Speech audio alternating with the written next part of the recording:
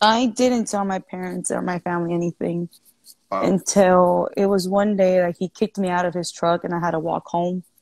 And that was the day that I told my sister and my brother like I didn't tell my parents because just I knew they were gonna tell me like you need to leave.